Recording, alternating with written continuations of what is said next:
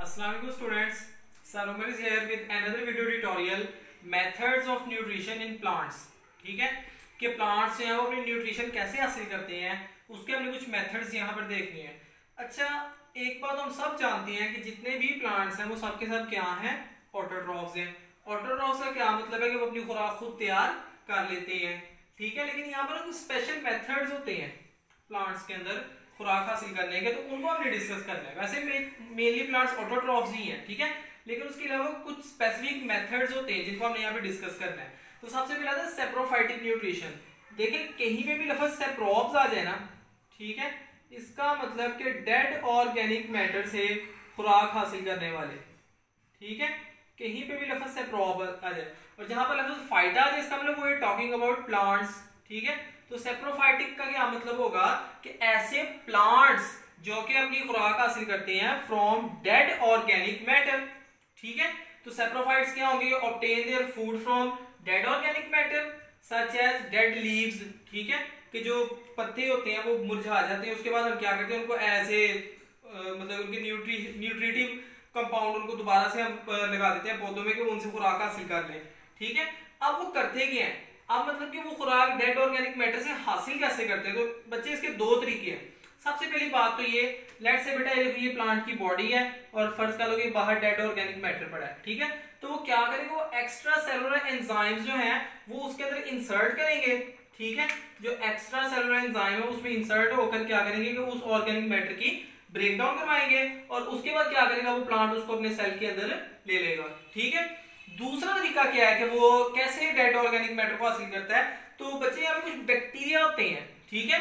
ऐसे बैक्टीरिया जो कि हेल्प करते हैं डेड ऑर्गेनिक मैटर को क्या करेंगे? वो डिके करेंगे। और डिके करने के बाद क्या होगा कि वो जो है मतलब जो बैक्टीरिया है, वो जो ऑर्गेनिक मैटर उसको नाइट्रोजन से कन्वर्ट कर देंगे नाइट्रेट्स के अंदर। अब आपको ये बात बहुत अच्छे से पता है कि जो प्लांट्स हैं, वो नाइट्रोजन को डायरेक्टली एब्जॉर्ब नहीं कर सकते। वो प्लांट्स को नाइट्रोजन को इनटेक करते हैं द फॉर्म ऑफ़ नाइट्रेट्स और वो जो नाइट्रेट्स हैं, वो क्या करेंगे कि वो उसको क्या बाद में एब्जॉर्ब कर लेंगे? और ये होते कहाँ पर है? जो बैक्टीरिया ये रूट नोड्यूल्स के ऊपर मौजूद होते हैं। लेट से कि मैंने एक रूट बनाई है प्लांट की, ठीक है? जड़ बनाई है। इसके ऊपर ना यहाँ पे इस तरह के नोड्यूल्स बनी होती हैं, ठीक है? जड़ के ऊपर। यहाँ पर नाइट्रोजन फिक्सिंग बैक्टीरिया मौजूद होती हैं, जो कि उसको फिक्स करके देती हैं। तो ये थी सेप्रोफाइटिक न्यूट्रिशन उसके बाद नेक्स्ट बात करते हैं पैरासिटिक न्यूट्रिशन पैरासाइट कहीं पर भी लफज आ जाए तो आपको पता होना चाहिए कि I am talking about that organism जो दूसरे ऑर्गेनिज्म के ऊपर रिलाई कर रहा है और बदले में उसका नुकसान कर रहा है। ठीक है? तो अब ये देखें, ये ऐसे प्लांट्स होते हैं जिसके अंदर एक ऑर्गेनिज्म दूसरे ऑर्गेनिज्म के या तो बाहर रहता है या उसके अंदर रहता है। ठीक है? और बदले में क्या करता है? हार्म देम उसको नुकसान देता है। अब यहाँ पर ना, जब भी पैरासिटिक न्यूट्रिशन आएगी ना, आपको दो लफ्जों का मतलब बहुत अच्छे से पता होना चाहिए। एक होस्ट क्या होता है एक पैरासाइट क्या होता है। अब देखें, फ़र्ज़ करें कि एक ऑर्गेनिज्म उसके ऊपर दूसरा ऑर्गेनिज्म रह रहा है। अब जिस ऑर्गेनिज्म के ऊपर रह रहा है जो सा ऑर्गेनिज्म उसको शेल्टर प्रोवाइड कर रहा है, खुराक प्रोवाइड कर रहा है, उसको हम कहते हैं होस्ट होस्ट का लफ्ज मैंने मेजबान होता है ना, उसको हम होस्ट कहते हैं। और जो सा ऑर्गेनिज्म रह रहा है और उसके जो बीमारियाँ काज कर रहा है, उसका नुकसान कर रहा है, उसको हम कहते हैं पैरासाइट ठीक है? इसकी एग्जांपल दी हुई है, आपकी बुक में प्यूसिनिया दी हुई है और डोडर कुस्केटा दी हुई है, ठीक है? प्यूसिनिया क्या है कि एक फंगस पैरासिटिक है और ये क्या कहता है कि वीट गंदम की जो फ़सल है ना, उसको खराब करता है। डॉटर की बात करें, ये बड़ा क्या होता है? आकाश बेल इसको कहते हैं लाइक दैट ये इस तरह प्लांट है ना तो ये उसके ऊपर ट्विनिंग करती है। उसके ऊपर लाइक दैट इस तरह लिपटती है ट्विनिंग करती हुई, ठीक है? और होता है कि जिस प्लांट के ऊपर ये चढ़ती है खुद ये मतलब इसकी ग्रोथ हो जाती है अच्छी खासी, जिस प्लांट के ऊपर चढ़ती है, वो प्लांट मुरझा जाता है, ठीक है? तो ऐसे जो न्यूट्रिशन है, इसको हम कहते हैं पैरासिटिक न्यूट्रिशन अब उसके बाद नेक्स्ट बात करें सिम्बायोटिक न्यूट्रिशन सिम्बायोटिक न्यूट्रिशन क्या होती है? ऐसी न्यूट्रिशन जिसके अंदर मतलब ऐसा relation between two different species जिसमें दोनों को फ़ायदा हो, ठीक है? ऐसी न्यूट्रिशन को हमें सिम्बायोटिक न्यूट्रिशन यहाँ पे तीन एग्जांपल्स दी हुई है, सबसे पहले लाइकन्स ठीक है? अब लाइकन्स होते हैं, बच्चे, इसमें बड़ा कंफ्यूज होते हैं कि लाइकन्स हैं क्या? क्योंकि कुछ जगह पे लिखा होता है कि जो एलजी है, वो लाइकन्स है। कुछ फंगस के बारे में लिखा होता है। तो बच्चे, देखो बात सुनो it is a compound organism fungus और एलजी इकट्ठे रहते हैं, ठीक है? वो जो इकट्ठे रहते हैं, उसको हम क्या कह देते हैं? लाइकन्स कह देते हैं, ठीक है? अब इसमें एलजी क्या काम करता है? अब आपको पता है एल्गा है it is plant like protist ठीक है? तो ये क्या करता है? फोटोसिंथेसिस के थ्रू फोटोसिंथेसिस के थ्रू क्या करेगा? खुराक तैयार करेगा और उस खुराक को यूटिलाइज करेगा फंगस अब फंगस एल्गा का क्या फ़ायदा कर रहा है? अब फंगस के पास ना बड़े बड़े हाइफी होते हैं, आपको है। अब वो क्या करेगा कि वो वाटर एब्जॉर्ब करेगा मिनरल्स एब्जॉर्ब करेगा और उस प्लांट को डेसिकेशन से बचाएगा। तो देखें, दोनों इकट्ठे रह रहे हैं और दोनों एक दूसरे का फ़ायदा कर रहे हैं। ऐसी रिलेशन का हम कहते हैं सिम्बायोटिक रिलेशन एक और एग्जांपल डिस्कस करते हैं। माइकोरिजी अब माइकोरिजी क्या अच्छा ये फंगस और एल्गी के दरमियान सिम्बायोटिक रिलेशन है। माइकोरिजी है फंगस और हायर प्लांट्स के दरमियान सिम्बायोटिक रिलेशन ठीक है? इसमें अब प्लांट्स क्या करते हैं? अगेन वही बात कि प्लांट्स जो है फोटोसिंथेटिक पार्टनर है, ठीक है? तो वो क्या करेगा? वो खुराक तैयार करेगा और उस खुराक को जो है वो मतलब उससे फंगस भी फ़ायदा उठाएगा। अब फंगस क्या करेगा? फंगस के अगेन मैंने बात की कि हाइफी होते हैं और हाइफी क्या करेंगे? कि प्लांट के लिए वाटर एंड मिनरल्स एब्जॉर्ब करेंगे सॉइल में से। ठीक है? तो यहाँ पर ये बात बहुत ज़्यादा ऑब्ज़र्व की गई है कि जो से प्लांट्स का सिम्बायोटिक रिलेशन होता है फंगस के साथ, यानी माइक्रोलिजल रिलेशन होता है, उनकी ग्रोथ बेटर होती है एज कंपेयर टू दो प्लांट्स जिनका ये रिलेशन नहीं होता। क्योंकि जो हाइफी है, वो प्लांट्स के लिए वाटर एंड मिनरल्स एब्जॉर्ब करेंगे ज़्यादा से ज़्यादा, और वाटर जो प्लांट है, उसकी ग्रोथ अच्छी होगी। उसके बाद नेक्स्ट बात है ल्यूगिमिनस प्लांट अच्छा लिग्यूमिनस प्लांट वो होते हैं जो फलीदार प्लांट्स होते हैं, जैसे फलियाँ होती हैं ठीक है, इस तरह के जो प्लांट्स होते हैं इन्हें हम लिग्यूमिनस प्लांट कह देते हैं। अब इनकी जो रूट्स है, उनके ऊपर नोड्यूल्स होते हैं, ठीक है? अब यहाँ पर क्या है?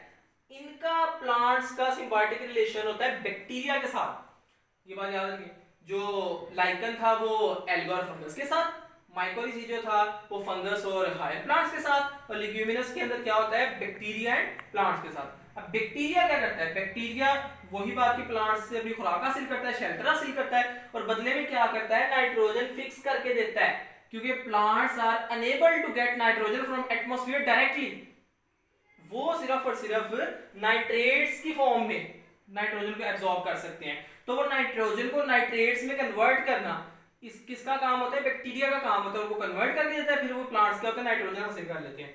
उसके बाद एक लास्ट कैटेगरी आती है इंसेक्टिवोरस प्लांट्स अच्छा इंसेक्टी मतलब इंसेक्ट्स और वोरस मतलब ईटर ठीक है? इंसेक्ट ईटर जो कि कीड़े खाते हैं। अब ये करते क्या है कि अपनी जो न्यूट्रिशन की नीड है ना, उसको फुलफिल करने के लिए क्या करते हैं कि इंसेक्ट्स को ट्रैप कर लेते हैं और उनको डाइजेस्ट कर लेते हैं। अब यहाँ पर क्वेश्चन ये राइज होता है कि प्लांट्स के बारे में तो मोस्टली पढ़ते हैं, ये ऑर्डोट्रॉफ्स हैं। तो इन्हें क्या ज़रूरत है कि ये जो है मतलब कि कीड़ों का शिकार करें, ठीक है? इसका आंसर ये है कि वो कीड़ों का शिकार करते हैं फॉर देयर बेटर ग्रोथ यहाँ पे लिखा है insectivorous plants are true autotrophs no doubt but the prion plants because their growth becomes rapid और दूसरी बात इंसेक्टिवोरस प्लांट्स उधर होते हैं जहाँ पर नाइट्रोजन इज़ लेस इसका मतलब कि जो सॉइल में उनको नाइट्रोजन मिल रही है, वो कम है। अगर उन्हें ज़्यादा न्यूट्रिएंट्स चाहिए तो उन्हें बाहर से भी कोई चीज़ लेनी पड़ेगी तो वो क्या करते हैं इंसेक्ट्स का शिकार करते हैं। ठीक है? अब वो जो कीड़ा है, उसको प्लांट्स डाइजेस्ट कैसे करते हैं? ठीक है?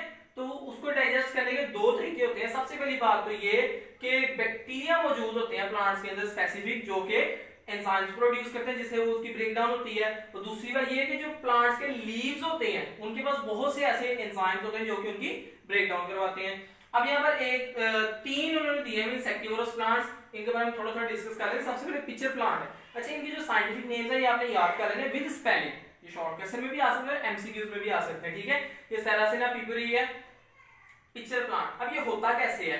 Like it is a sac like structure with half filled fluid और बच्चे इसका जो लीफ होता है ना एंड से एक हुड बना रहा होता है. लाइक दैट ये देखो, इस तरह करके ना सैक लाइक स्ट्रक्चर होता है, ठीक है? और यहाँ पर इस तरह करके एक हुड सी बन रही होती है, ठीक है? और उस हुड के ऊपर क्या होते हैं? स्टिफ हेयर्स होते हैं.